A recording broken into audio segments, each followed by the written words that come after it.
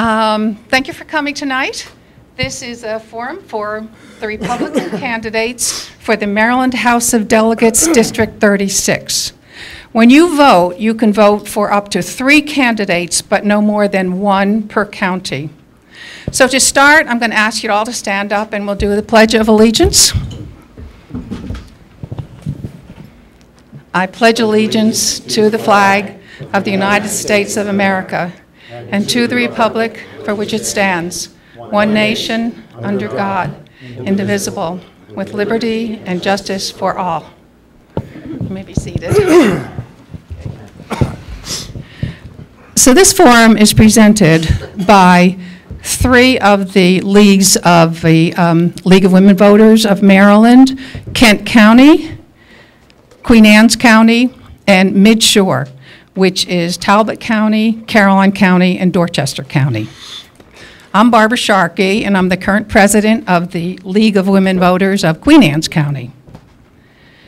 The League of Women Voters is a nonpartisan political organization that promotes political responsibility through informed and active participation of citizens in their government. To maintain our nonprofit status, the League of Women Voters presents forums only with candidates who have at least one opponent running and are, and also participating in the same forum. Before we get started tonight, I just want to point out two things. Sorry, I have to put this down so I can show you. The League of Women Voters Voters Guide has been printed and is now available for all of you. It's going to be distributed um, this coming week, Wednesday, Thursday, and Friday, in just about all of the local newspapers.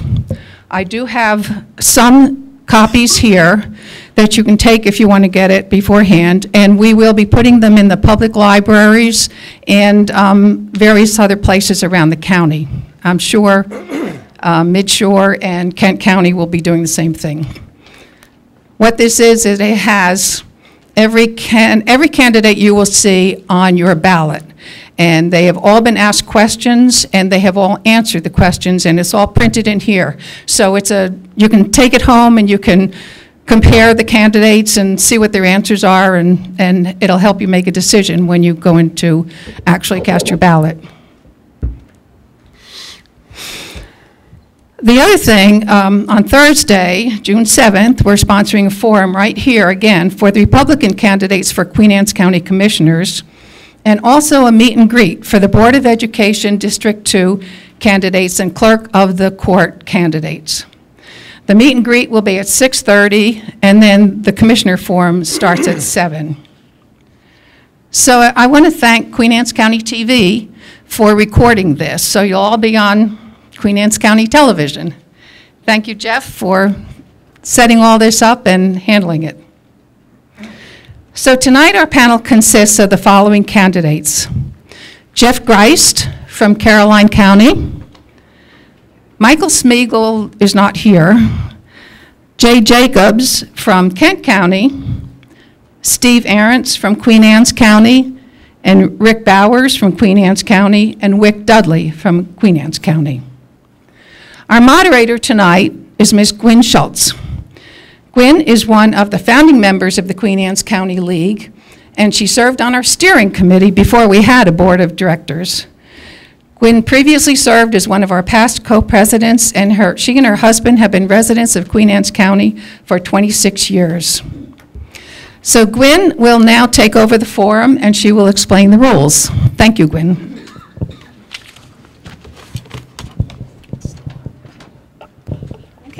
Good evening. Um, Tonight's forum is in, going to be presented in three different sections. Um, During the first section, we're going to ask each of the candidates to provide an introduction. Then that will be followed by questions from the audience. And then finally, um, when we bring it to closure at about 8:30, the- the candidates will have an opportunity to give some closing remarks. Um, I'm going to get into more of the details about the audience questions uh, later on, right before we get into that section. Um, So what I'd like to do um, is remind you to turn off your cell phones before we get into the introductions. And then I'm going to provide an opportunity for each of the candidates to give a two-minute introduction. And we've picked the order for those introductions, and then when we do the closing remarks, we'll be reversing that order. So um, I'd like to kick it right off with the introductions, and our first one is um, Rick Bowers. Thank you. I'd like to thank uh, the League of Women Voters for putting this on this evening. Also like to thank all of you for taking time out of your busy schedules to come hear your choices for delegate in District 36. My name is Rick Bowers, and I'm running for the Maryland House of Delegates. I believe my core values of God, family, country, Constitution, and common sense resonate with the district of 30, uh, the district that I'm trying to represent, District 36. I also believe there are major areas of concern that have not been addressed properly by the current delegates. My political involvement began with my interest in amending the state constitution to define marriage as a union between one man and one woman. From there, I ran for State House of Delegates in District 13 in 2006, Columbia, Maryland. I served as policy analyst and writer for Delegate Warren Miller, District 9, served Senator Alex Mooney, now Congressman Mooney from West Virginia, as, as his legislative aide. I've served on numerous boards, both locally and nationally. And as partial list will be the Maryland Taxpayers Association, the MDGOP State Planning and Goals Committee led by then Lieutenant Governor uh, Michael Steele, World Ministry Fellowship, uh, National Advisory Board, Community Action Council of Howard County. Uh, Governor Hogan, a couple years ago, appointed me as a consumer member of the State Board of Plumbing, where I currently oversee all the continuing education units for the state inspectors. I've served as president of the Queen Anne's County Republican Club, and currently I'm the vice chair of the Queen Anne's County Republican Central Committee. I'm a lifetime member a resident, a um, resident of Maryland. I'm an independent insurance agent, a retired pastor, and I've been married to my lovely bride, Cheryl, for 38 years. We have three adult children and eight grandchildren. I believe I am the best suited candidate to be your voice in Annapolis because, once again, I believe my core values of God, family, country, common sense, and Constitution best represent the, the, the, the tenor of District 36. And for more information, please visit my website, rickbowersmaryland.com. Thank you very much. Thank you. A couple other things that I'd like to mention, I forgot to, is um, first of all, for the candidates, we do have some timers right up front, and folks in the audience will also, you'll be getting some notes about timing when you come up for um, audience questions. So this will give you a 15-second uh, warning as well as a little stop warning. Um, and then also, just for the audience, um, I know if you get enthusiastic about something, you might want to applause, but we're hoping that everyone can hold off on your applause until the very end so we get as much time as possible for um, audience questions and answers. Okay, uh, Mr. Dudley. Okay. All right. Um, well, once again, uh, and as Mr. Bowers said, uh, thank you all for coming here tonight. Uh, I should probably apologize for those of you who are expecting a 66-year-old bald man who's never sported a beard in his life. Uh, my father, Wick Dudley, is not a politician. In fact, he disdains all things politics. So if you've seen his signs and thought, how in the heck is Wick Dudley doing this? That's why it's his son, not Wick Dudley. For various reasons, technically I'm not a junior, so I cannot differentiate from him unless I go by Wiki Dudley, which considering I just graduated from law school, I'm trying to clear away from that. Um, and while in law school, last couple years, uh, while a full-time law student, I was working for FOP attorneys over there at Schlachman, Belsky, and Weiner, um, which provided a wealth of experience and information and insight into a very interesting, uh, you know, modern something or other that's going on in the world these days with, with police activities, and I've got experience with the FOP, and I think being a full-time law student while working three days a week at a law firm is testament that, to my work ethic and my ability to work as hard as I possibly can for the constituents of the Eastern Shore. I'm a multi-generational, uh, my family's been on the Eastern Shore for generation after generation. In fact, my mother's maiden name is Greenhawk because they have Nanticoke Indian uh, in, in that side of the family. So to be perfectly clear, I am very much a shoreman. Uh, I'm a hard worker. I've got a legal background, which I think will do wonders uh, to be a lawmaker uh, over in Annapolis, and I'm looking forward to fielding your, or answering your questions. Thank you all for being here. Thank you. Mr. Ghrist? Thank you uh, very much. And, and I'll too uh, sort of echo what they were saying um, in regards to uh, thanking you all for, for coming out. And um, this is obviously a very, very important part of um, the uh, democratic process um, to make sure that um, you all allow us to engage um, the, public and, and uh, we can certainly deliver our message. Uh, I currently serve in the House of Delegates on the Appropriations Committee. I grew up on the Eastern Shore uh, and from Caroline County. Uh, went on to uh, graduate um, with a degree in economics from Salisbury University. And I served uh, two terms as county commissioner in Caroline County. And this was during um, arguably the, the, the eight most difficult years uh, economically that our country's ever faced. It was during the recession. And I was certainly very proud to be part of uh, a team in making decisions and, and leading the way um, through that time because um, we were able to do that uh, without uh, raising taxes. In fact, we were um, we actually lowered taxes on, on, one occasion, and we were also able to provide a, a senior tax credit uh, during those eight years uh, as well. And um, we, we did all those things and we were still able to provide great service to the public. Um, we did not sacrifice anything um, in regards to service, and I'm very, very proud of that. And, and I say that because I took a lot of what I've, I've learned and a lot of those things that I did as county commissioner to Annapolis. Um, and it served me very well uh, on the Appropriations Committee because, um, you know, my role as a team, and it's certainly been a huge honor to serve uh, with Delegate Arentz, uh, Delegate Jacobs, and Senator Hershey.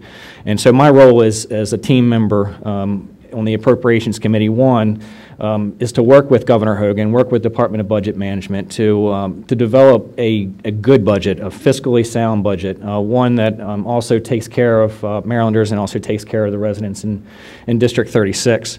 Um, and then um, also to, to also control spending um, as well, and also provide uh, money, rather than uh, money going to Baltimore City, Montgomery County, and Prince George's County, where we've seen for so long, uh, we're able to bring a lot of this money that's in the budget back to District 36, and we have a lot of success stories there. Thank you. Thank you. Mr. Jacobs. Good evening. Uh, thanks, thank you to the uh, League of Women for having this forum this evening, and thank the audience for being here. My name is uh, Delegate Jay Jacobs.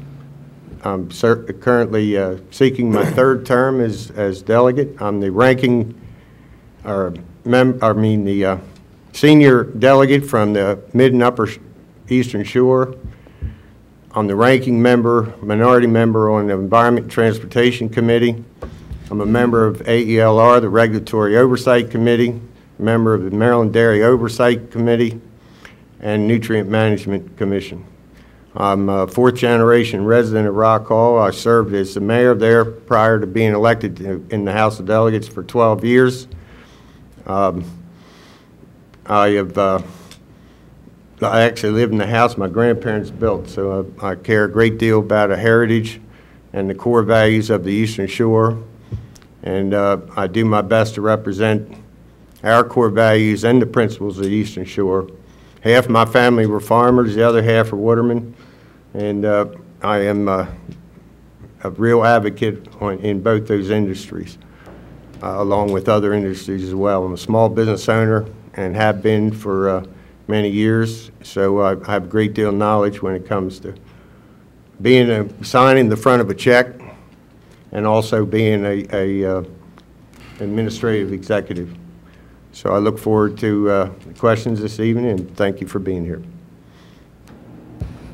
Uh, Mr. Arentz. All right, thank you. Um, Good evening. I'd like to thank, once again, thank the League of Women's Voters for having us here tonight. I think this should be an informing, informant, informative evening for all of us. Uh, My name is Delegate Steve Arentz. I'm married to my wife, Biana. We've been married 22 years. I have a daughter, Elizabeth, who attends the University of Maryland, and a son, Stephen, 16, who attends Kanawha High School.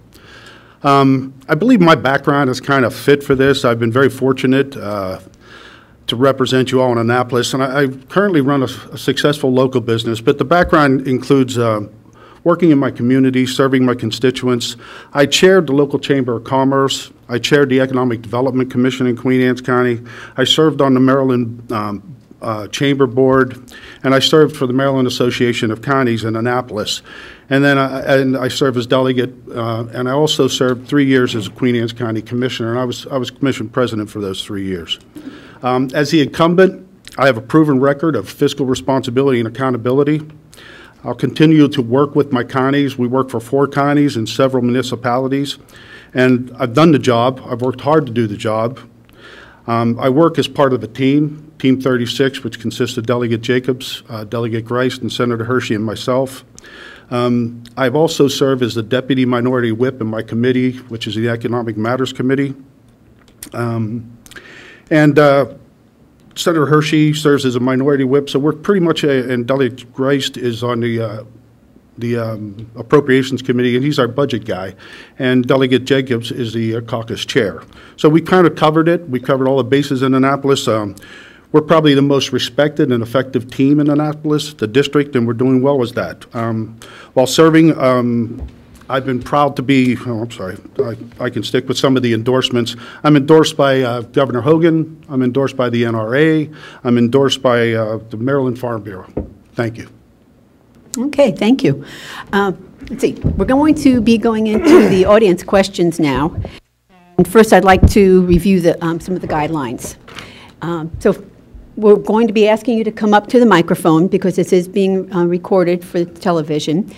And before posing your question, please provide your name and um, where you live, and you'll get 45 seconds to pose your question.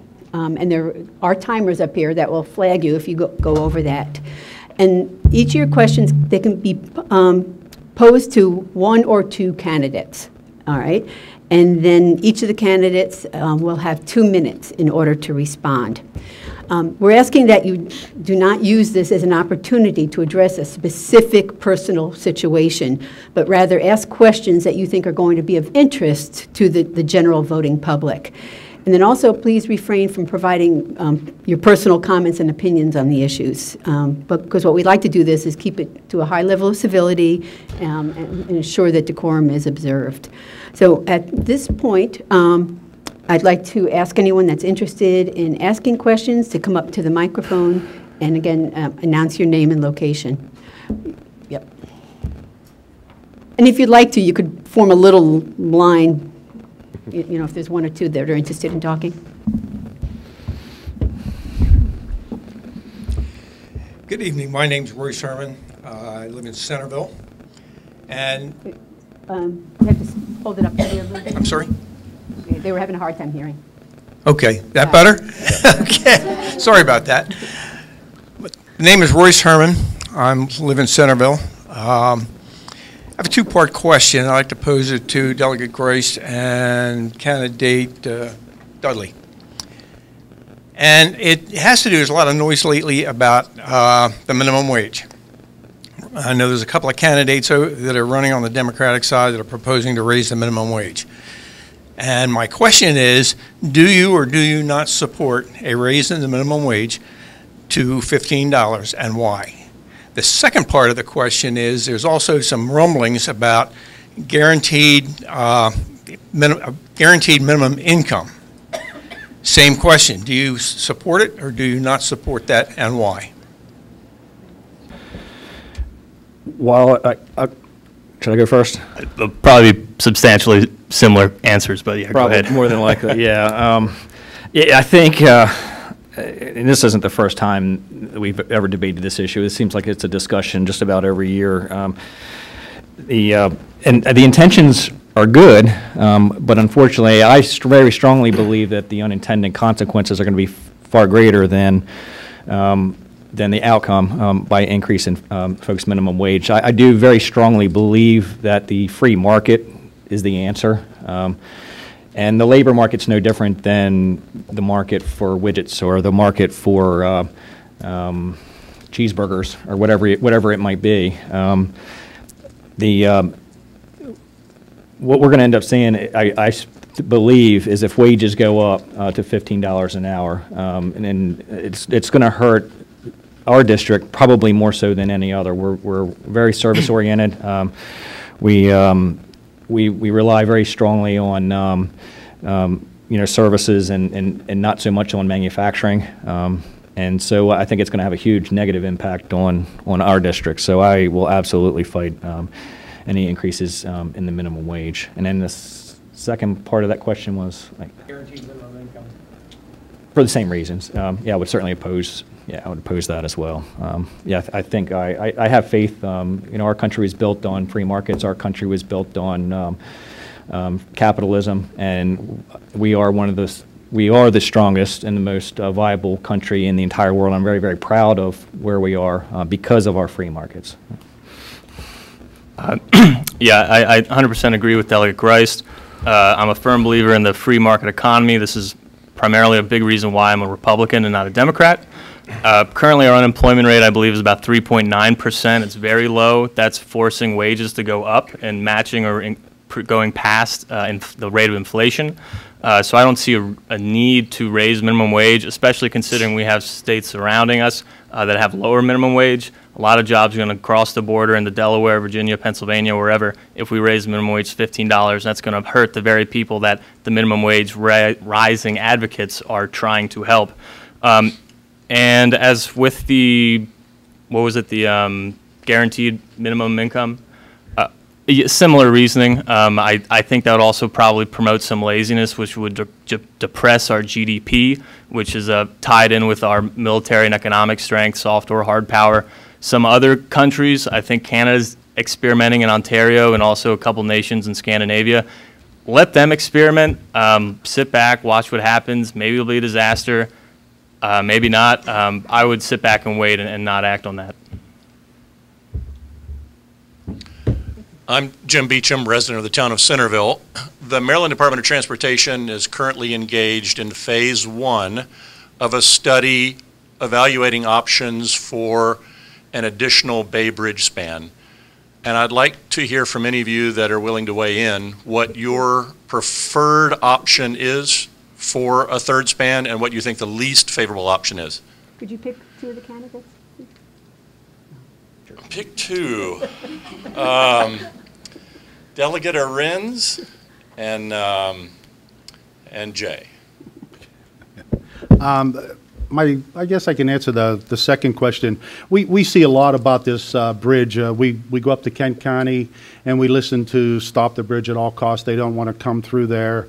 We, um, there's a task force out there already, you know, we're doing the NEPA study uh, currently to determine where would be the best place. And uh, you've seen some legislation this year that kind of rebukes that, and they wanted to take the Eastern Shore out of it. Um, as far as where the next Bay Bridge should be, I think that's what the study's going to do. I know Kent County doesn't want it. I know that down south, there's a lot of critical area. Um, There's a lot of uh, push, from what I hear, to put it current, where the current bridge is, because we do have the infrastructure there. As a Queen Anne's County resident and somebody who has fought this battle in the past, that's a very difficult thing to, to pull on us with everything we're going through now. I think the reach the beach attitude we had several years ago kind of put us in a kind of a block, if you will, because if you try to go somewhere on a Sunday or, or Sunday afternoon or a Friday evening, you're kind of landlocked. Um, my personal opinion probably doesn't really matter where, where, to you, where it goes. I think that uh, we're going to make a decision based on all the counties. It's going to be a cumulative decision. Everybody's going to look into it. We're going to try to make the best decision with the best information possible. Um, I'm not sure that bridge will happen in my lifetime, which is sad to say. I do know that we continually suggest things to the Maryland Department of Transportation on how to free that bridge up and free the traffic. There's been suggestions about taking over some of the state roads for the county to block them off. That's kind of hard to do when we all pay taxes, so. um, My personal preference, I guess the most logical place might be to keep it where it's at, but you're going to have to do a whole lot of work to appease Queen Anne's County, and I'll probably work with the residents here to say that might not be such a good idea for us. Delegate? Okay. Um, Maybe some of you have seen a few of the signs up in Kent County where I live. Uh, No bridge to Kent, so you kind of know where many of the Kent County residents sit on this issue. Uh, But I got to tell you that I do hear from, from uh, a few that are certainly in favor of a bridge coming over into Kent County. Um, You know, it would certainly change that county entirely. It would not look the same as it, as it has for, for 400 years. My concern is more about the infrastructure that we're working with now. You know, we've had several discussions over the past few years with the uh, Queen Anne's County Commissioners, very concerning as the uh, westbound congestion, uh, you know, it's, it's, it seems like it gets worse every, every year, every weekend. So my number one issue is more about the infrastructure, you know, building that so that, that we can back down on some of this congestion as, than to where this next bridge may or may not occur. There's three options in the tier, you know, it's a tier one study now, but there's three options. There's a, you know, and the third option is a no-build option. And certainly, in my, my opinion, is that we need to deal with the congestion and, the- and the, and the bottlenecks that we have currently, especially in Queen Anne's County, because in January of 19, when the Route 1 bypass opens up, you're going to see a whole lot more traffic, and I, I believe a lot more truck traffic than we're seeing now. Um, They, the Delaware statistics are that it's minimal, but when there's a $35 toll difference between going north and going south, I think we pretty much know which way that these trucks are going to go. So the number one issue is the infrastructure. That's got to be fixed now. If you build a new bridge, it's going to take 20 years, and this study, not the Tier 1, but the Tier 2, will zero in on where that may be. And every county on the eastern shore has one vote. I'd like to take a a moment to answer that, please. Um, We're going to, No, I think we should allow it. Let's allow it. This is a very important issue. okay. Thank you. All right, we'll provide then an opportunity for each of the candidates to respond on this one. If we want to. Yep, if you want to. Okay. Thank you. You know, when I, when I go around and I'm talking to people, um, I hear, I hear about recalling a study that was done years ago by the Ehrlich administration that showed that the bridge was going to be best suited out of, uh, coming into Dorchester County. So I would like to look at that a little further, and I'd like to find out myself why we're doing another study, spending millions of dollars, when we've already had one study that landed it uh, in Dorchester County. But one thing that, and, and and by the way, um, I've met with, um, with the State Highway Administration, with Commissioner Bucky.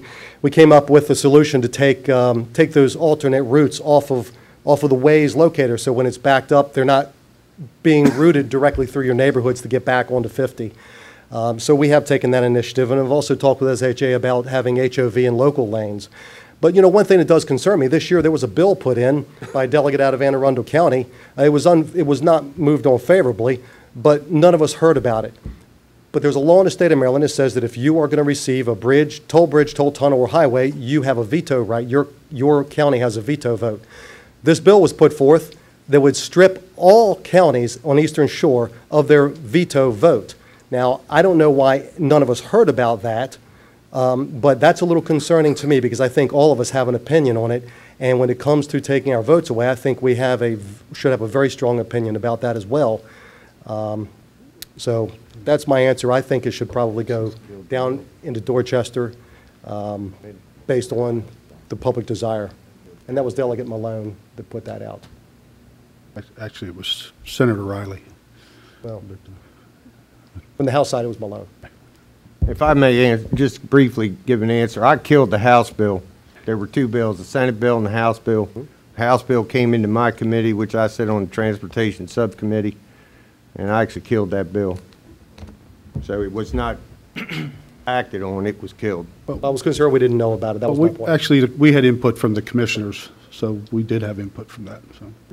All right. Would any of the other candidates like to res- respond to that? I'll just say briefly that I have a uh, over my dead body approach to a bridge to Kent County. Thank you. Most of them are loaded. Yeah. Right. We're fine. question.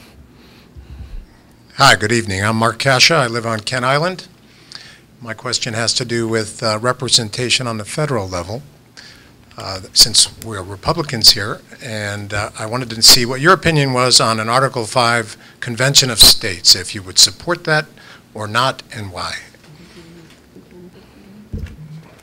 And I'd like all of the delegates to answer that, since we started, already broke the ice. If not, just the three Queen Anne County uh, candidates. Are you directing that to anyone? Are you directing it to two candidates or? I'd like to d- address it to all five to hear what their opinion is, but a- at a minimum of three, of, uh, at least Queen Anne's County Park.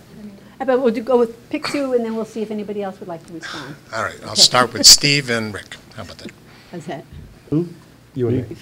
Well, you know, that, that, uh, I get a lot of emails on that. Um, There are some issues with doing that. Uh, Once you open something up, you open up Pandora's box. Uh, My personal opinion is I would lean towards, you know, some things need to be done. And if you're going to let that is, I'd rather let the people decide that and put it to us and, and get a population that's going to support something like that. Um, I do think there are dangers to the Constitution when you do that, and I think there are people that can come through and put in some subjective type legislation. Uh, I think some things do need to change. The world is changing. So um, would I support it? Uh, I- I'd really have to get a whole lot more emails. I'd probably get maybe three, four a week, three, four a month that I get talking to me about it. It's nothing that's really come up in the General Assembly for me to discuss, so it's, I would take a little bit different approach. I would actually do some uh, more intellectual level study, and I would dig in a little deeper and find out what are the issues, because I agree with Delegate Arentz. You do open up Pandora's box and to a lot of potential negatives. So not only do you have to know your issues, but you have to know your audience, and uh, it does require a, a, a, a majority of the states to go and make any type of uh, uh, lasting decision. But again, it is Pandora's box, and you have to calculate that risk before you open it. But my approach would be more um, of uh, a, a research approach um, at this point rather than public opinion. Um, I, I guess my que, could you, could you clarify, and I'm a little embarrassed to have to ask, but, uh, is that just a, go ahead. Is that like just a, a rewriting of the US Constitution? No, not to rewrite the Constitution, to uh, affect certain changes to get the immovable Congress and representation of all blacks as a Republican in this country. That was what I was trying to do. Okay, um, yeah, I, I would agree with the, those who have spoken. I think that has kind of opened a bit of a Pandora's box. Some of the, I'll just weigh in on that very quickly. I know some of uh, the concern is the unintended consequences again, um, at least from the- our our conservative perspective, and I know that that was mentioned in the question. Um, It does require 38 states in order for it to pass, and I will say that um, if it's, if it's something that um, is, is- doesn't have conservative principles, um, I can tell you that there aren't 38 states in the United States that will pass a constitutional um, any changes to the Constitution, but uh, I wouldn't support it in Maryland um, because I do believe that um, our Constitution has outlived, I think, any other Constitution in the history of the world, um, and it works. Um, It's one of the greatest documents ever written, um, and I I know that um, change is good oftentimes, but it's written in such a way that our country can still change without changing the Constitution. And I don't see there any reason why there's a need for, for a constitutional convention. Thank you. And to Delegate Ghrist's point, I would like to add that one of the strengths of our Constitution is that it is so old. I don't think any of us want to turn into one of these South American countries that have a new Constitution every 10 years. Uh, The Constitution is the bedrock of our American democracy. Its strength is in its resilience. We have the opportunity to amend bits of it if we like, and I think it would be better to go that route. Thank you. Good evening, gentlemen. I'm Kathy Magruder. I live in Centreville, Maryland. Tonight, I'd like to ask you about bond bills. Every year, we see millions of dollars of revenue go to various jurisdictions around the state for projects that are critical to those communities, for improvements within those communities. I'd like to know, those of you that are incumbents, what kind of bond bill revenue projects have you brought funding to the region for? And those of you that are candidates for office, what kind of projects do you see that would be important to bring home bond bill revenue for our region? And I'd like to start with Delegate Ghrist and Delegate Arentz. Well, thank you, and um, that's one of the responsibilities that I mentioned during the introduction, and that's one of the things that I take very seriously. I remember four years ago when we ran, there were um, several candidates who refused to put in bond bills, which completely boggled my mind. I didn't understand it, um, because they're in the budget every year, and if, if we don't ask for the money, that money's going to go somewhere else in the state, and it usually goes to Baltimore City, it usually goes to Montgomery County, it usually goes to Prince George's County. Um, so, so I, I, every year um, I fought hard, um, and this year was a huge win um, for Compass Regional Hospice. Um, we were able to get a million dollars actually, um, and that's uh, it helps Kent, Queen Anne's, and Caroline County. Last year, I believe we got two hundred and fifty thousand dollars for uh, the Benedictine School, um, which it, not only does it help. Um, it- It's, it's in Caroline, um, but it serves the entire state. Um, In fact, uh, this coming Friday, I uh, will be receiving, um, and which I'm very proud of, an award from ARC of Maryland, um, which they do great work for uh, developmental disabilities. Um, And uh, part of that was, uh, was because of the bond bill, and I think part of it too was uh, reestablishing the uh, the reimbursement rate um, for DDA, um, which that's something I'm very proud of, and we did that in my subcommittee. Um, We did uh, Talisman um, Therapeutic Riding this year for Queen Anne's County, Easter Seals in Kent County. We did a couple years ago a bond bill for Singerly um, um, Fire Company um, up in uh, Elkton uh, for their helipad. Um, And these are all requests that are coming from the community, mostly from local government. And this is one thing that I, you know, this is my role, but it's, it's a team effort. Um, it- It's all four of us um, that get these bills passed. It's not just me on this committee, um, but it's something that, that we all work together on. And as a team, um, you know, we decide how we're going to approach um, getting these bills passed. And that's something we all take very, very seriously um, because um, a small amount of money, uh, just a couple thousand dollars, means an awful lot to our communities in District 36. Um, Bond bills are kind of a unique animal. I, th- I think uh, one thing we forget about bond bills is it's tax dollars. It's your tax dollars, and you're letting us make decisions on how to spend your tax dollars. Um, The intent of the bonds, in many, many, many cases, is phenomenally good. I mean, if you look at what we were able to do for Talisman, um, you look at what we were able to do for the hospice of Queen, of, of- of uh, the Chesapeake, those are excellent choices of how we're going to spend our money. You can see bond bills going to, um, they're, they're misused a lot in Annapolis. You can look at that, some, when I was on appropriations, we'd look at a bond bill that was still sitting out there, hadn't been used for three years because they weren't ready for it or what have you.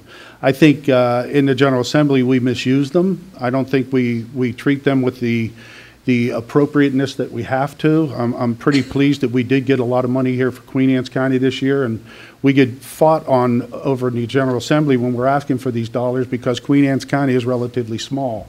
Our district is relatively small, but it's still a big, big enough district. Um, and again, as a fiscal conservative, they're real hard to give out. It's a little bit like me picking, like you said, me picking what I'm going to do with your tax dollars. Um, and would it, is there a better way? I, I'm not sure I know it. Would it be better if we were all self-sufficient? Yes, but that's not the reality of the world. So um, I'm, I'm proud to be part of the group that got these dollars for us. Uh, the way it was told to me early on was, if you don't take it, somebody else will, and that's a pretty bad way to run a world, I think. Uh, I, I work hard at it. I work to support it, and it, uh, it is something I think the state should really take a hard, a hard look at and review it. Um, A lot of people need, but is it really the state's job to fix those problems? That would be my question. Thank you. Okay, since this is an incumbent question, uh, I'd also like to add that for the first, my first term, my four, first four years, you know, we were battling a recession during the Ma- O'Malley administration, and uh, I would not put a bond bill in. The opening phrase in the bond bill starts with creation of state debt. That's the actual language of a bond bill, creation of state debt. And I wouldn't do it. And I never put a bond bill in two, until two years ago was the, the first time. And Governor Hogan said, I'd like for you guys to go ahead and participate in, you know, trying to get some of this bond money. And we've done well. I've always encouraged people to really do a, a line item in a capital budget. It's, it's much more effective. It's, it's really the more concise way to know what kind of money you're going to get. If you can get that line item in the capital budget, which we've been able to do several times, I think the results are much better. Uh, you don't have to wait till the last day and hope that you get half of what you ask for. You almost know right up front on the capital line item that, that the money is, is really more direct. Um, You know, I, I've put bond bills in, we, we did well this year. I'm not a great lover of bond bills, um, but I do support the projects. I think Wye River School, we, we got, uh, one of our colleagues to put that bond bill in a few years ago, and they, they, uh, did very well with, uh, with bond money. But the real, I think the, the best method is really a line item in the capital budget, more so than a bond bill. Thank you. Bowers or Dudley? Sure. Again, it's important to understand that, as uh, the delegate said, the first words in that, in the verbiage, the first words in the bill is creation of state debt. Um, Very big, very big consideration, taking on additional debt on any level. Um, However, what I would, what I would be open to uh, would be bills that would address the situations that I'm hearing about when I knock on doors and when I talk to people in their home and in their businesses. They want relief from traffic, anything that will help traffic. Um, And as I mentioned to you, I've already been working to whatever level I can without being elected on those issues. Um, The other thing would be education, uh, for the trades in particular. Get our kids trained so they can do things, and adults trained so they can do things that'll produce a very good wage. uh, which might even off, take a little pressure off the, the drive for this minimum wage that's supposed to somehow be a, a living wage and support a family, which in fact, minimum wage was never intended to meet that criteria. It was intended as a starting point. Um, Also, I would, I would be open to bonds that would help us with intervention uh, on, with the opioid crisis. I think we're losing too many adults and too many uh, useful lives to um, addictions to opioids uh, for reasons that are both the person's fault and not necessarily the person's fault. You know, somebody slips their back, they're in the hospital for a week, pain meds for the next two weeks recovering, and then they can't stop. Um, So, yeah, I would, I would be cautiously open to creating uh, a bond uh, that would touch on any of those three issues. I, I I think it's mostly been said. I'll just add that bonds should be used judiciously. Judiciously. Thank you. Okay, thank you. Any more questions from the audience? Okay. Come on up. Mhm.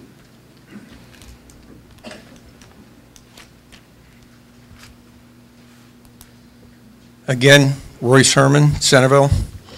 And this question is something that's near and dear to my heart. That's alcohol and the gasoline.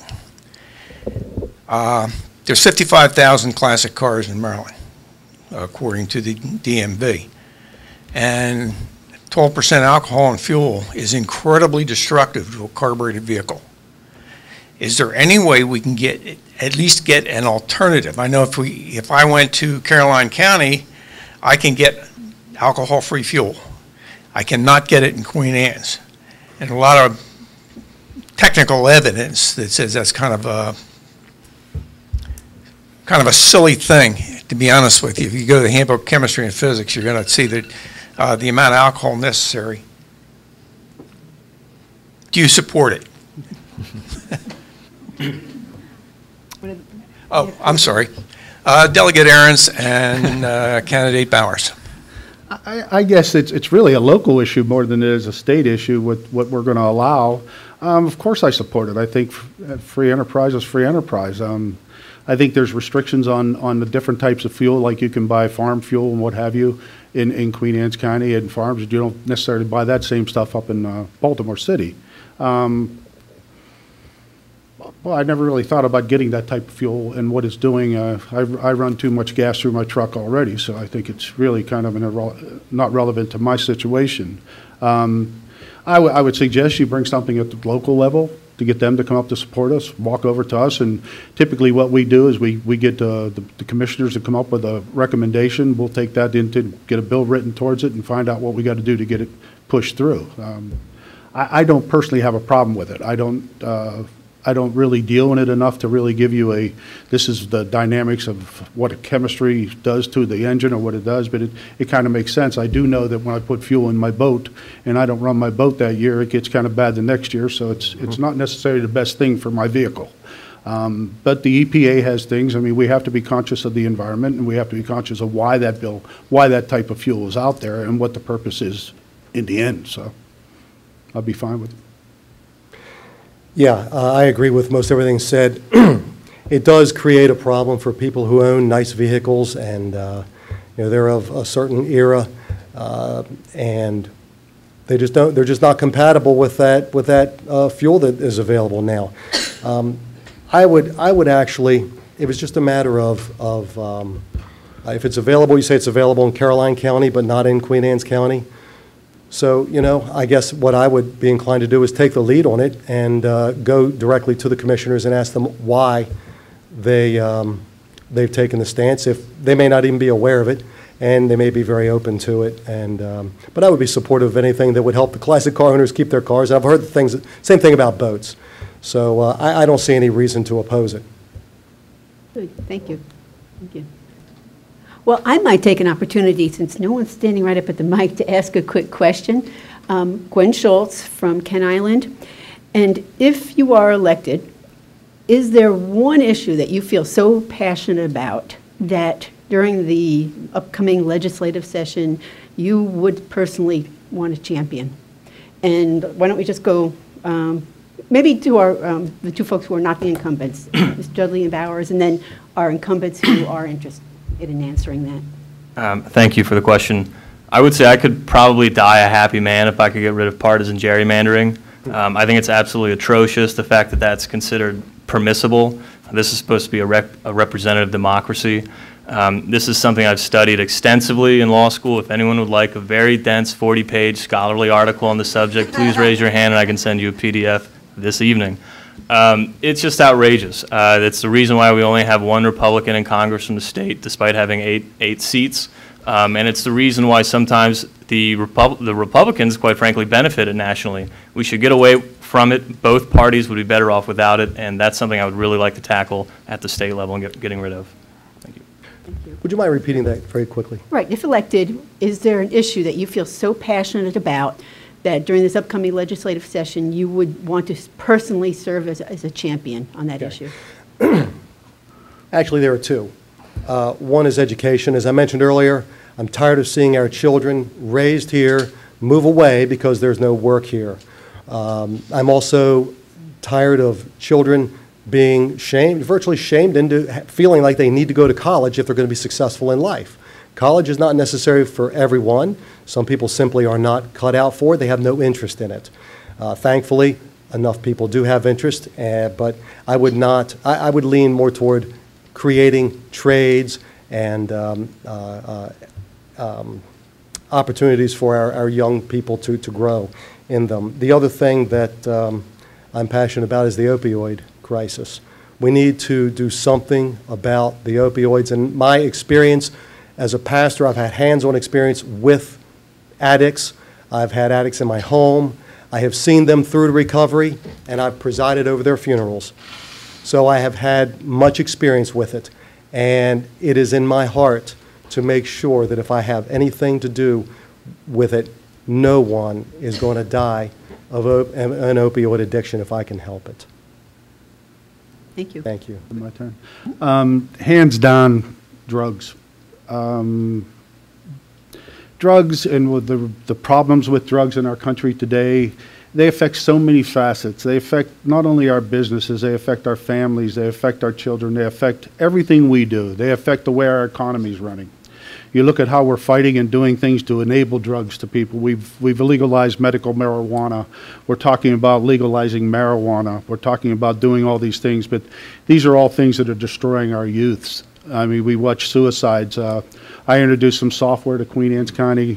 It's text to stop it. It's a piece of software that kids can now anonymously sit back and say, hey, you know what, Bobby Jones is over here using, he's, he's selling marijuana in the, in the thing, in the bathroom. You need to come in here. It's going to save me from being, being the victim then by telling, call, telling on somebody what they're doing. But we also look at the devastation of drugs. When somebody gets hooked on something, it doesn't just affect that person, it affects their family. If you have a child that's been uh, addicted to a drug, if you have a child that's been, been actually destroyed by the drug, and uh, possibly a child that committed suicide because of drugs, if we're not making this our biggest priority, I mean, there are other things in this state I'm sure we need. I could go into healthcare, mental health, look at the mental health issues. You have to sit back and define whether mental health happens before you start drugs or after you start drugs. Where, when, do we, when are we mentally ill? And to watch the devastation, to look at our youths today and watch the lack of accountability because of these types of things. It's just, it's atrocious. I think if there were one issue we could solve today, I think that would be my, my, my front runner. Um, do we have other social issues? We have, we have business issues. We have health care. If you look at health care, which parlays right into that. Healthcare costs are going through the roof because of these drugs. So this thing affects so many parts of our business and so many parts of our country and so many parts of our families. Um, I've seen it. I've watched it. I've seen the child who's died from it. Um, and it's just, it's just not pleasant. It's just not fun. And that software I'm talking about in Queen Anne's County has actually saved lives. It's prevented suicides. Thank you. Thank you. Next.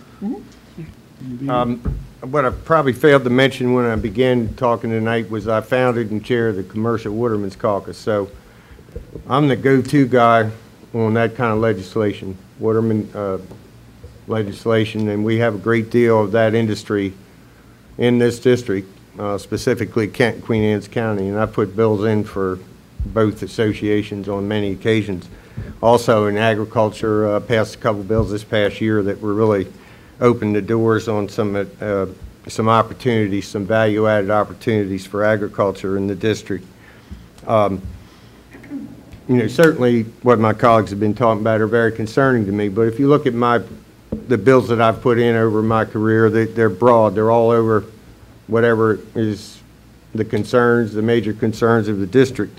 You know, I was the first one to really start talking about the Conowingo Dam eight years ago when the Chesapeake Bay Foundation downplayed the whole issue. And now you see it at the forefront. And to compound that problem, we have a habitual leak at Baltimore, the Baltimore City sewerage, which we've had in Kent County, high bacteria counts this past week off the chart that are obviously coming from these leaks, constant leaks coming out of Baltimore City. So legislation needs to keep addressing these issues that are affecting each one of us. It starts at the top of this bay and runs down the, to the bottom. And, and, you know, the bay is the centerpiece of, of what we are here in this district. And, um, you know, I'm certainly passionate about those issues, but certainly open to uh, whatever the issue is that my constituents feel that is important to them as well. Thank you. Yeah, we talk a lot about um, the legislative session, and we do a lot of work um, during uh, those 90 days. Um, But most of our success stories, it happens during the interim. Um, It's about building relationships, not just with our local community, but it's also about building relationships with other legislators, um, you know, legislative leadership. Um, And for us, most of our success stories actually comes from um, Governor Hogan's administration, um, comes from the secretaries, it comes from all of the departments. Um, And one of the biggest challenges um, that I focused on, not um, just as a, as a delegate, but also as a county commissioner for, for eight years, um, and that's been uh, economic growth. Um, And right now, um, there's a huge effort in Annapolis and in other states where we just want to, you know, we want to pro- provide a, uh, an opportunity, you know, we, we give a lot of tax incentives, we give a lot of money, we give a lot of this, we give a lot of that to bring big companies in, but, you know, we can try all these things, um, but we don't have to on the Eastern Shore. Um, We have good businesses on the Eastern Shore right now who are screaming for good qualified help, and at the same time, we have people who are leaving our communities and working over on the Western Shore. Um, And the reason is, is because we have a huge uh, workforce shortage. Uh, We have a workforce training shortage. Um, And I started this as a county commissioner, um, and I'll continue doing this. And it's not just during legislation, um, legislative session, it'll be all year. Um, We're going to, we started getting, um, several years ago, working with our school superintendents in our local government. Um, And then what I want to do um, this fall, when school um, is back into session, is uh, do a field trip to uh, Washington County. Uh, They have a regional vocational school there, um, and it works. Um, And you would be amazed by uh, what they're doing. I mean, advanced robotics, I mean, they're doing things that um, you'll you'll see college students in MIT or uh, Virginia Tech that are doing. Um, I want to bring that to the Eastern Shore. I want to fill these jobs on the Eastern Shore. I mean, we we can expand our economy without giving away the farm um, to to the Amazons and and um, those those companies that are uh, that are out there. So, Thank you. Thank you. Thank you. All right. Hi, I'm Cheryl Jarrows from Queen Anne County, and I'd like to hear from all of y'all on your stance of concealed carry here in Maryland. Thank you. Wanna Pick the first two that you want to. Oh, uh, well, Queen Anne's, Steve Arentz and Rick Bowers. I didn't hear the question, I'm sorry. I'd like to have your opinion on concealed carry for Maryland residents. I support the second, I was just endorsed by the NRA with an A rating, so I support ca- concealed carry. Uh, What more can I say about it? Uh, I think that uh, we're we're far too often punishing the law-abiding citizens for what they do. We sit back and we see something happen because somebody who doesn't obey the laws does something, he does it off-kilter, and we go right after the person who's following the rules. Um, Bottom line is, support the Second Amendment. I would support concealed carry. I think Maryland is probably doing more than enough to, to argue that point. I think the restrictions they put on some people, I've had people in my office who could teach the course that were denied the concealed carry. So I support concealed carry. I too support concealed carry. I support the Second Amendment. I believe that it shall not be infringed upon, and uh, I think that it's the protector of all of our other rights. Um, You know, I I echo, echo what uh, the delegate said, and uh, if you choose to send me to Annapolis, I will defend your Second Amendment rights. Constitutionally, they are given to us, and as Uh, Mr. Dudley said about the bridge in Kent, it's an over my dead body type of thing for me. So I support concealed carry. Um, Yeah, and yeah, specifically, I think Maryland has a, it's a pretty high bar to get a concealed carry permit. You can get one, but you essentially have to show that there's an imminent threat to your, to your bodily, to your body. Um, And I think you get a two-year permit initially, and then after that, it's a one-year, and you have to continue to show that high bar. Um, And it's virtually impossible to get renewed. And I know, spending time in Baltimore the last few years, getting my law degree and- and dealing with police officers, like what's been said, the, the good guys can't get a concealed carry permit, and the bad guys don't bother to go get one. Um, so I think it should be made a little easier to do so. Thank you. What's um, very interesting is, um, you know, just reading articles, and I'm sure that um, a lot of you guys probably have seen it, um, where London now has a higher murder rate um, than New York City. And England has one of the highest, uh, most restrictive gun laws anywhere in the world. And people are being killed by knives. And so now the discussion in, in London and in England is knife control, which is very, very interesting. Um, and so I think that that just, that's a testament to the fact that uh, there is no correlation between very restrictive gun laws and murder rates. Um, And uh, for us, I can tell you that our Republican caucus um, in both the House and the Senate, we do a great job um, trying to uh, whittle back um, our Second Amendment rights. Every year, we have bills um, that we're all putting in. Each one of us, we're we're co-sponsors on these bills. Uh, Unfortunately, um, we do live in the uh, Socialist uh, Republic of Maryland, and it's very, very difficult for, for us to get these bills through um, each and every year. Um, We've, we've had a few success stories, um, but it's nothing that we can, we can really take home and and brag about, unfortunately. I wish we could. Um, But, uh, yeah, concealed carry, um, you know, like, like you said, you, you can get it in Maryland, um, but it's progressive, it's just too, it's so expensive and it's nearly impossible to get. But we're trying, uh, we try every single year. Um, And again, um, like um, Delegate Aronson, Delegate Jacobs, and uh, Senator Hershey, we all do have an A rating with the NRA, and we were actually endorsed by the NRA as well. Um, They made that endorsement today. Thank you. I'll- I also support the concealed carry uh, issue. Uh, You know, I was hoping that this year the federal government would act on the reciprocity uh, con- conditions, and and uh, they failed to do so. But, you know, the bar is set so high in Maryland. uh, The conditions in the bar is way too high. Certainly, you know, what we hear from our constituents, and it, every year I've been there, is this reciprocity issue of, you know, if I can carry in this state, why can't I carry in Maryland? And that's always the question. So I think it's one that uh, hopefully we'll reach uh, consensus on very soon. Thank you. Thank you. Hello, gentlemen. Steve Donovan from Centreville. I thought I'd throw a softball at the end here since I heard about records, and records are what matter. So it's probably to these three guys here. Last calendar year, your personal success. What what made you feel best about what you accomplished? One thing. Graduating from law school. I'd like to give you a list of things if I could. Um, First is um, the committee work. Um, I mean, that's where things get done, and it's not the bills that I passed in the Appropriations Committee, it's the bills that we were able to, to water down, or the bills that we were able to kill. And for me, um, one of the big concerns I have for the state of Maryland, and we talked about debt earlier, and it's not bond bills. Um, Our, our, the amount of, that we have in our capital budget's over a billion dollars now, and, and bond bills is only 10 million of that billion dollars.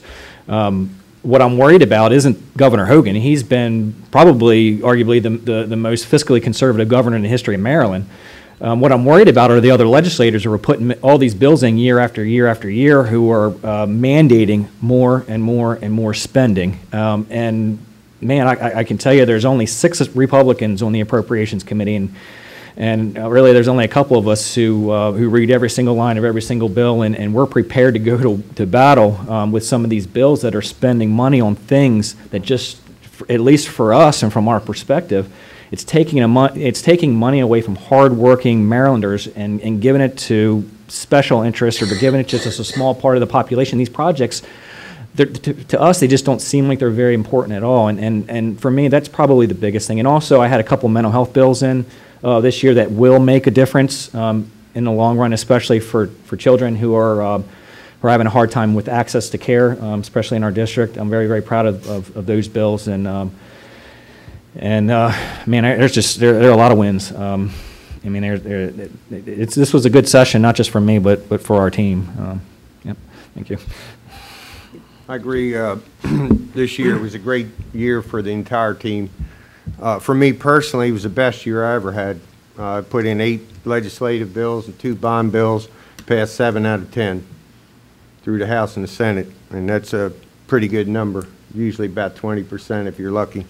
So I had a very successful year. I'm also the ranking member on my committee, and not only was I successful in my legislation, but I helped salvage a lot of bills from my colleagues that were important bills, bills that weren't going to make it. But my presence in the back room with the subcommittee chairs, I was able to actually move some stuff that would have been killed, that really needed to be passed, that were really important to agriculture especially. Uh, I can think of those. And uh, uh, to the city of Crisfield, golf carts running up and down the highway. You know, that was a bill that the, the city of Crisfield really needed. And that would not have gotten out of there, you know, if I hadn't been sitting in that back room. So there, there's a lot of success. I, I mean, I had a great year.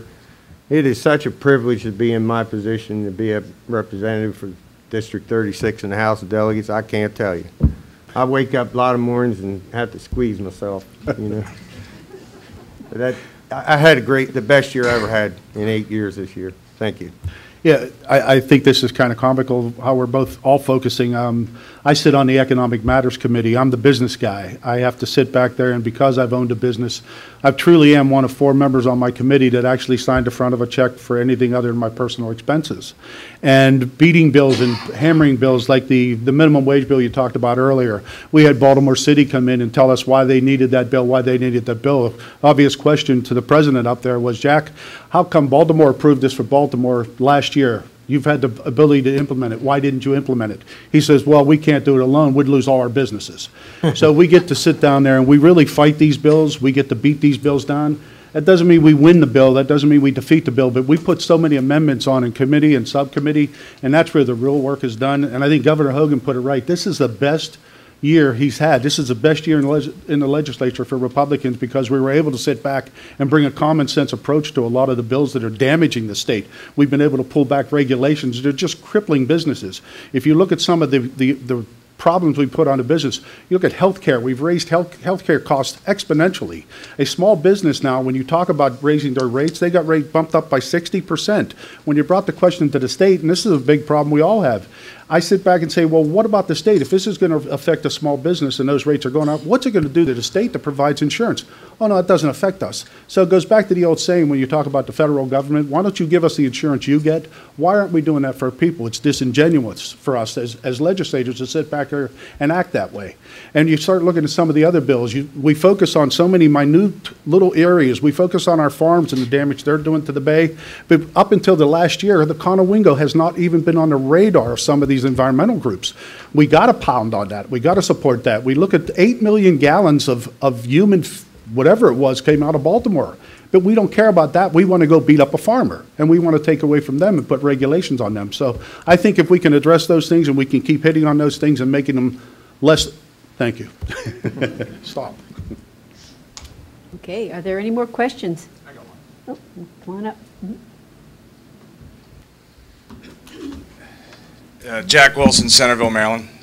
Um, Based on the federal tax cuts, the state of Maryland will receive a rather large windfall next year, some estimates uh, half a billion dollars.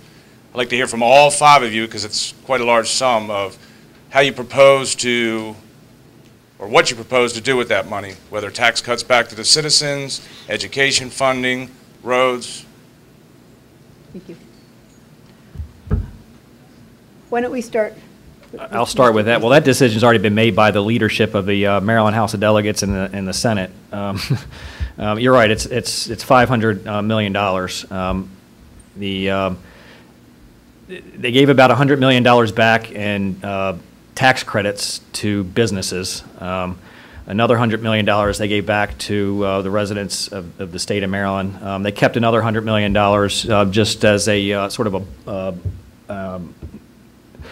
sort of a contingency fund just in case their, re- uh, their revenue estimates are off. Um, and then they spent the rest. Um, majority of that did go to education. Um, but um, the, what we tried, all of us um, in the Republican caucus, we had several bills in. Um, we, and the governor uh, as well had a bill in who where we tried several different ways to give all that money back to the residents of the state of Maryland.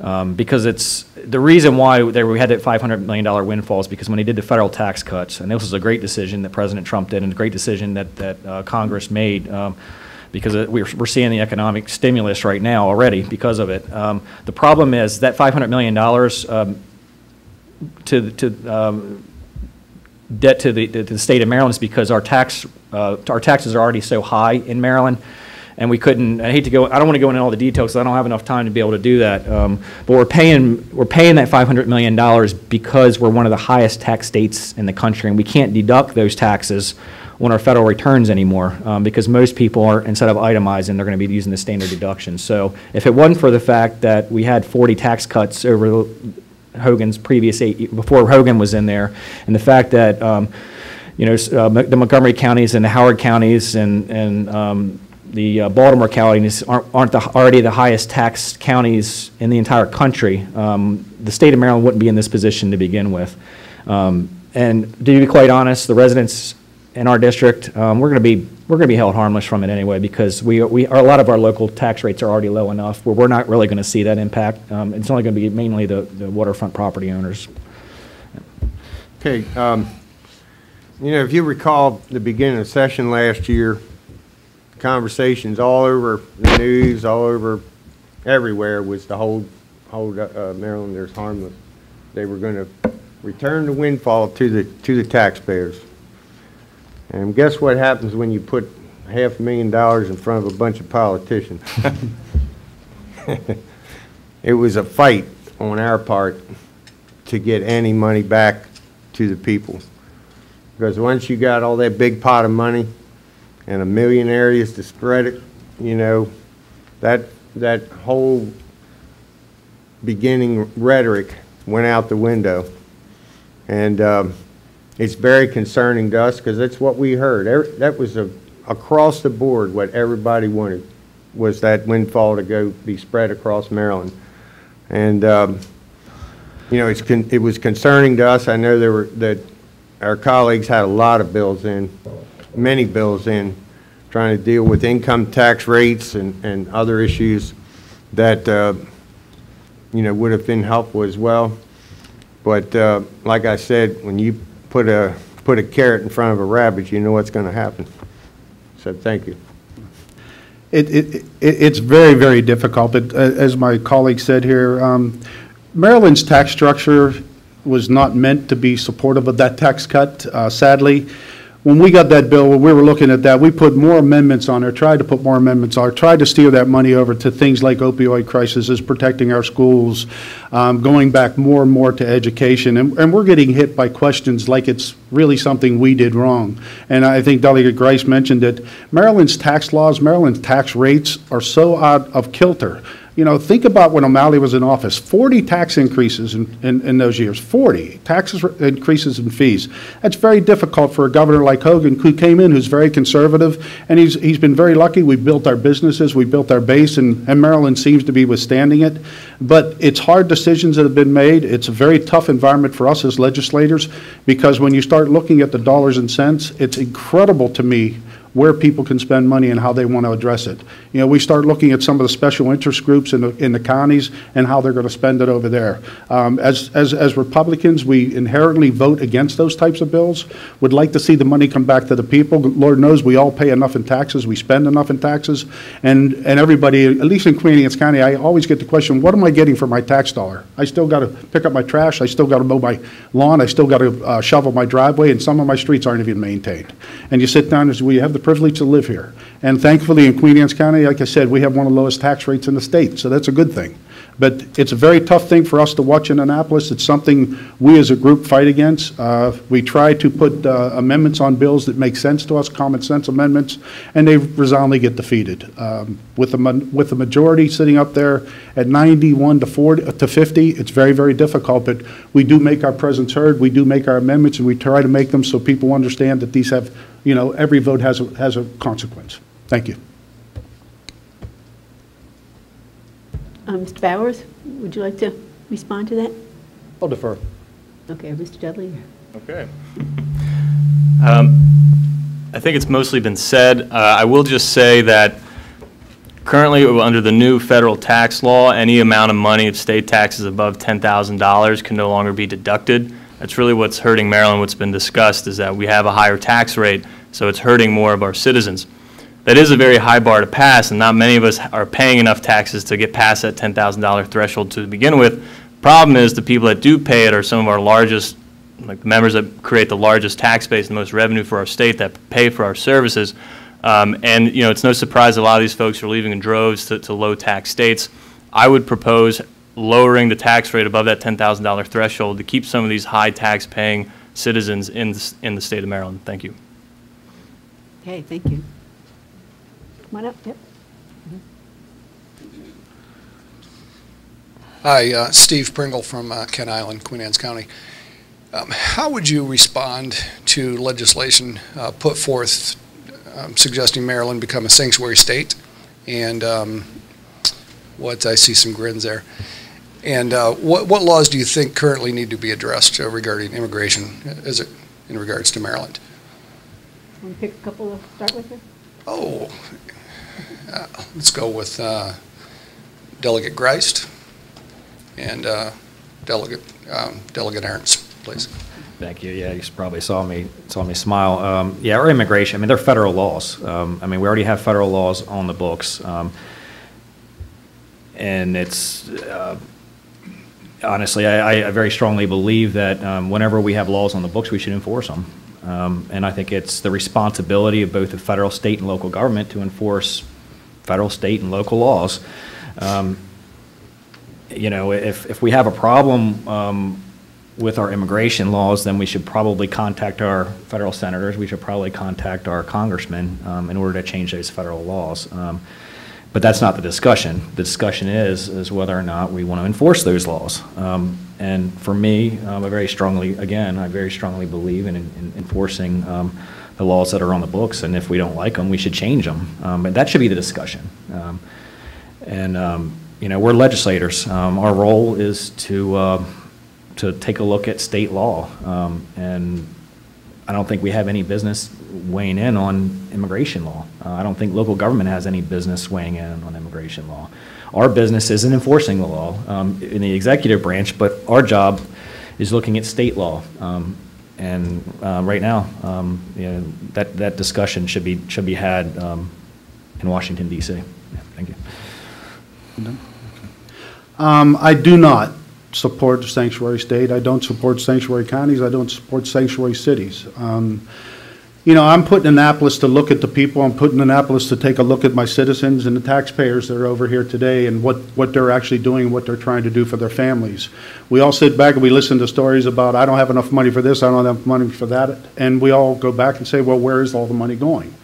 Um, I believe there is a process in this country. There, there's always been a process to come into our country. Um, I'm sure one of my grandparents followed it, or great-grandparents followed it, and I don't know why we have to circumvent that. People use, well, we can't get labor. Well, you know, we do have a large unemployment pocket in a lot of areas that just will work or will not work. Um, I believe that we've got to take care of Americans first. Uh, I'm not, I'm not uncompassionate about it, but I just think it's, it's a hard line. And if you put laws in effect, I think you need to uphold the laws. You know, if you're going to give me rules, we have to play by the rules. Um, Dollars and cents mean a lot, and it shouldn't be heartless. We do enough. We do plenty when we go overseas. We always, if you ever look at the United States, is the first to address any country in need or in trouble in any circumstance.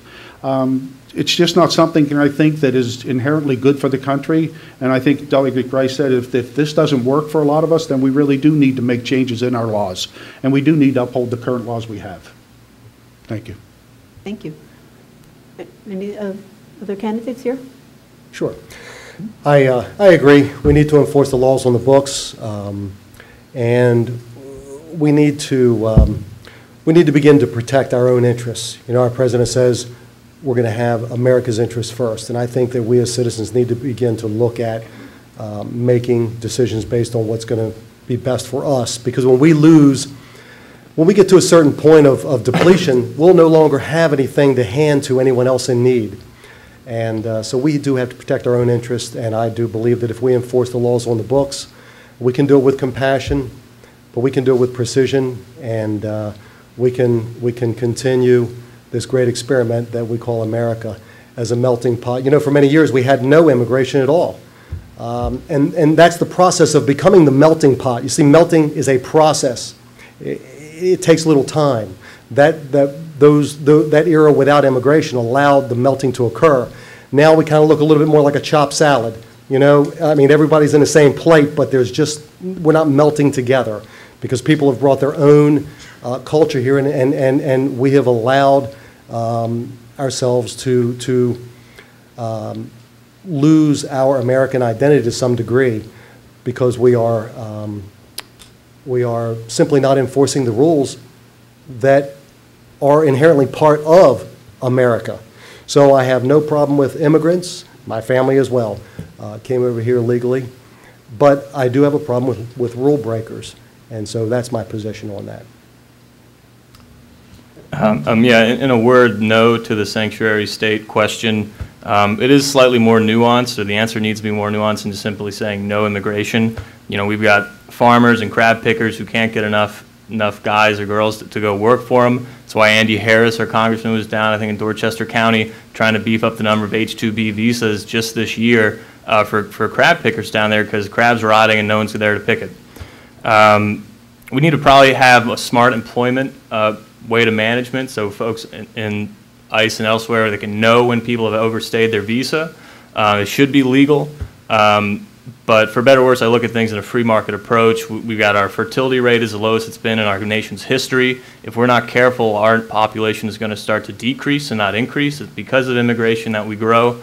Um, and moving forward, we're going to need that population increase, so we're going to continue, or not continue, but we will begin to decline as a country the way that Japan has. Um, so I don't know if that answers the question or not, but sanctuary state, no. Mr. Jacob, would you like to answer that? Yes. Um, I think the question was about uh, sanctuary state. Is that, isn't that correct?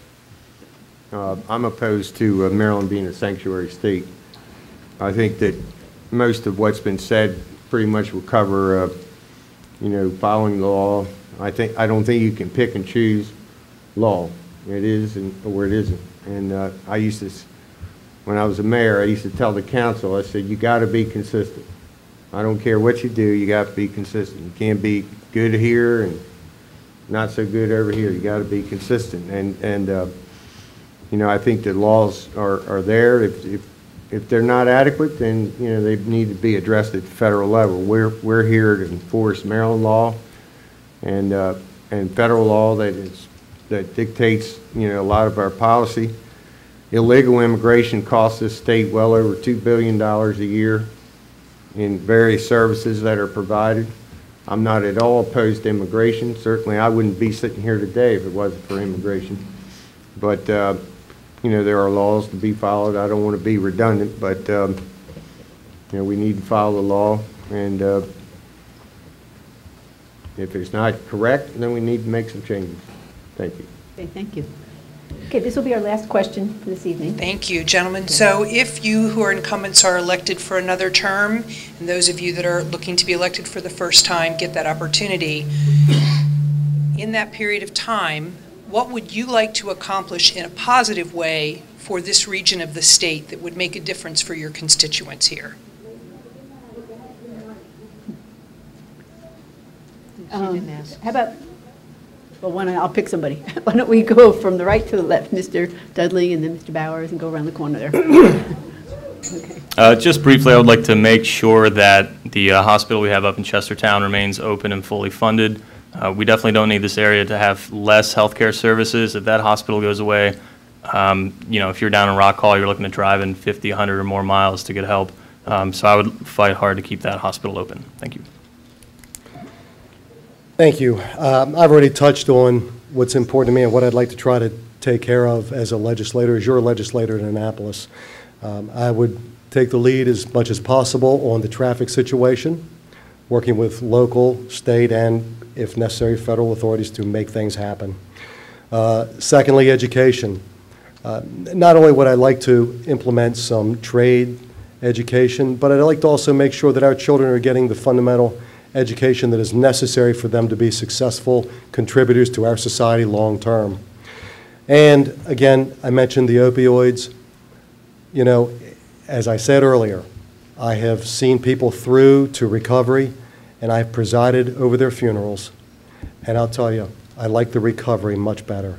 It is possible. It takes a group effort, and I think that my skills, my background as a pastor, uh, affords me the ability to work within the faith communities, which I think we'd all agree are necessary in this, um, in this function, along with local and state law enforcement and uh, the community in general, along with businesses, need to be involved in taking care of this problem because it does affect all of us, whether it's a relative, a worker, a neighbor, we're all affected by it, and we have to simply take uh, an all of the above approach on it. And I believe that my skills and my experience are best suited to, uh, to uh, see that through.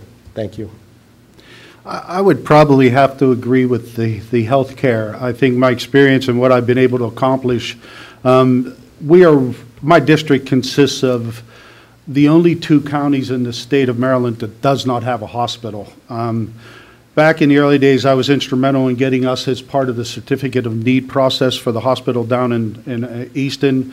Um, I've been a part of trying to save the hospital up in uh, Chestertown. One of the things that we are lacking in this area are those those things. Our our population, if you look at the needs up in, in Kent County itself, the population is aging just like we are down here in Queen Anne's and addressing those types of needs. We brought uh, additional services into Queen Anne's County for people with diabetes and heart disease and what have you. Um, I was a strong supporter of the cardiac center going over into Anne Arundel Medical Center to where they just gotten, again, they got the approval. It may be uh, uh, appealed again, but it's still something that we've been very effective at, at approaching. And I think that ties into the other thing that I mentioned is my primary need.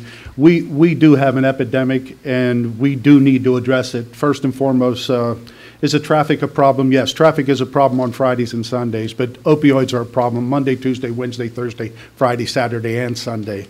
And we're not doing enough. We're allowing things to happen. Do you know that if a, a person overdoses, and I call somebody, if I'm with a drug addict and he's overdosing, no one gets charged for that crime. No one. That person gets, they're exempt from being, being arrested or their paraphernalia may be confiscated, their drugs may be confiscated, but there's no ramifications for overdosing. And we even have people that are overdosing that are actually fighting the Narcan we give them the cost of trying to bring these people back, the Narcan doesn't get reimbursed by the person that used it. If you get a prescription, you have to pay for that prescription. I think um, the healthcare side of it, the drug side of it is probably where I think I can make the most difference in Queen Anne's County and my district. Thank you. All right. Um, I wrote some notes. They have really good notes. Um, you know, one of the things that, that has really affected our district is when the re recent recession hit the shore, it has, it has really been tough and very, very slow to recover. There are counties uh, in our district that are very slow to recover. They always ask me what's the biggest hurdle. I said, we, you know, we, I mean, the entire district borders tax-free Delaware. And it's one of the biggest problems we have. We lose a lot of business to Delaware, people shopping in Delaware, you know, it's made our economy move, move certainly uh, back to, to us where it was. Hopefully, it won't be much longer getting there, but it's been a very, very, very slow recovery from the recent recession. Um, we got enormous transportation issues, getting people around. I served on the uh, Rural Health Care Commission along with Senator Hershey, uh, you know, trying to keep the uh, hospital in Chestertown, the, the uh, inpatient services present and, and no reduction in services. But what keeps coming back are the transportation challenges in our district, you know, all over our district. I always tease people, I, I said, They said, "You're here early." I said, "Well, I got on the subway." You know, because there is no mass transit here. You know, we're lucky to have anything here, and it's a, it's a struggle. You know, it's something that we try and work at. I think that, that this Hogan administration has improved it quite a bit, but there's a long ways to go. And transportation is one of the most challenging issues, public transportation that we deal with in this district. Um, Maintenance of level of services, you know, whether it be doctors, hospital, you know, uh, uh, doctors at the hospital, et cetera. We're trying to hold that and not lose any because we have been losing important services. So my goal is to, to maintain those services and not lose any of the important services for the, especially our aging community in the, in this district. Thank you. Yeah, a lot's been said already, and we talked about uh, a lot of big issues that are very, very important, not just to Maryland, but our district. Um, But I just want to talk about two things um, that I I really enjoy about our job. Um, One of them is, it's not just the big things, but it's also the small things. Um, It's, it's the, I mean, we're in a service job. Uh, We're in a sort of service-oriented job. We represent a lot of people in District 36. We represent almost 120,000 people in our district. And um, part, of the most significant part of our job isn't those 90 days. It's, it's, it's, it's all year. It's 365 days a year. It's all those emails. It's all those calls. We're, we're problem solvers. Um, and that's, that's really the most rewarding part of this job. When you get an email from one of your residents, it doesn't matter where they come from. It- they can come from Barclay, they can come from Elkton, they can come from, from Greensboro. It doesn't matter, or, or anywhere on Kent Island. It doesn't matter where they come from. You know, when you get those emails, you know, you're in the back, you're, you're just trying to figure out how do I solve their problem. And fortunately, with, with our team, um, we've done an outstanding job. Um, For so long, the Eastern Shore, when, you know, statewide, oftentimes we're forgotten about, um, but we're, we're literally on the map now. It's because of the relationships that all four of us have been able to establish. Again, not just with the governor's office, but it's also with other legislators. So when we get those emails, we get those phone calls, and we're trying to figure out how to solve, problem solve, we have resources that are available to us. Um, And that's what makes our job so fun um, is because we're, we're just a phone call away or we're just a text message away from getting answers to people um, and solving their problems. Um, and, and honestly, it's, we don't get paid a whole lot of money, um, and we're not, we don't do it. And I can tell you, nobody over there does it um, for the money. Um, but it's that feeling that you get um, when, when somebody says thank you, or they say, you know what, this, this is awesome. Um, I mean, you, you, you changed my life, you changed our family's life, and um, I mean, that, that's, that's the best part, honestly, of, of our job. Um, and, that, and that's something that happens all year long. Um, yep. Time's up. All right, thank you. All right, well, at this time, um, we'd like to start off our, the closing remarks, the candidates' remarks. Going to start out with um, Mr. Arentz and then go to Mr. Jacobs and continue around. Um, One minute each. Okay, thank you again for the time tonight. I got to get something in here first. Um, First all, first and foremost, ladies and gentlemen, I have the experience, uh, and I want to take a moment to thank my colleagues. I work very well with Senator Hershey, Delegate Ghrist, and Delegate Jacobs. We're a team. We do communicate, we do work on the issues, and we do, we do mention these things to it. You know, people talk about whether we're conservatives or we're not. My, my experience, the record shows, I actually have a track record. I have been endorsed, I have been rated by the Maryland for Responsive Government at a 100% rating. That's not a minor feat. I've been uh, for the Americans for Conservative U- Union, an excellent rating. It doesn't get, there's only one better than that, and that guy was two points ahead of me. Um, The Maryland Retailers Association gave me um, a star- all-star, and I'm endorsed by the largest employer in our state and in our county, and that's going to be the Maryland Farm Bureau. I'm endorsed by the NRA, and our Governor Hogan, I've worked with him, he's endorsed me, and I just sit back and I work on the things about the support for saving our bay, saving, reducing taxes, cutting taxes, and no tax increase over the four years that I've been in in the delegation. Thank you. Well, first of all, I'd like to thank everyone for being here this evening. I think it's been a great forum, and uh, thank the League of Women Voters for, for having us.